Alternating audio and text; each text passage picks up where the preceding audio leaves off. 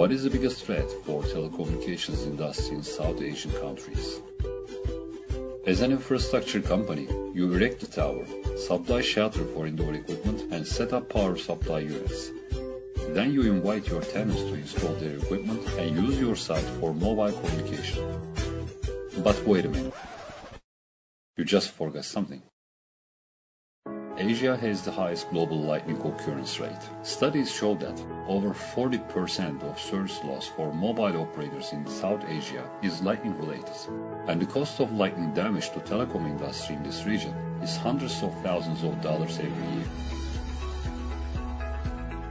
A telecom tower is the primary target for lightning strikes. When lightning hits the tower, lightning current flows down to ground and gives damage to the antennas on tower and sensitive devices inside the shelter.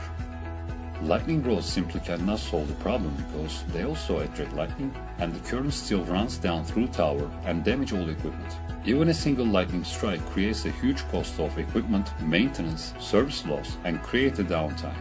That's why we invented EvoDis lightning prevention system.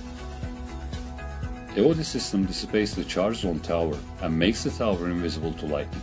This process keeps the site away from lightning strikes and all equipment on tower and inside shelter remains safe. The EvoDis system protects hundreds of telecom towers in lightning-prone regions worldwide with 100% success for many years. You can now stop lightning damage on your site and save money and time for you and for your tenants.